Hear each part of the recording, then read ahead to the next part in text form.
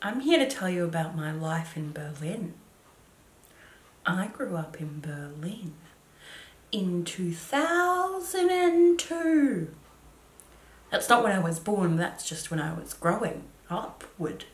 The wall was down, there was no more wall in the middle of Berlin. Straight down the middle is where it was for sure. It was gone. It was gone. Berlin. Berlin, named for Lynn, who got burrs in her fur. She was a dog.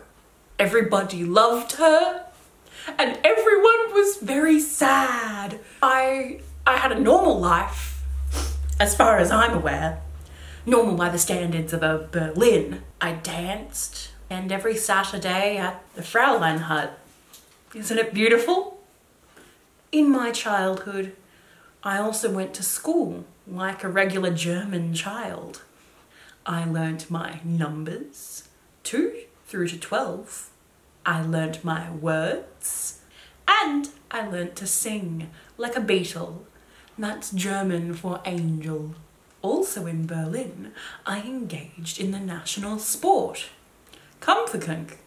Many balls and ribbons. I was not a champion, but I enjoyed myself in the little leagues. That's that's where I grew up in in in Lindsberg in Berlin in 2002.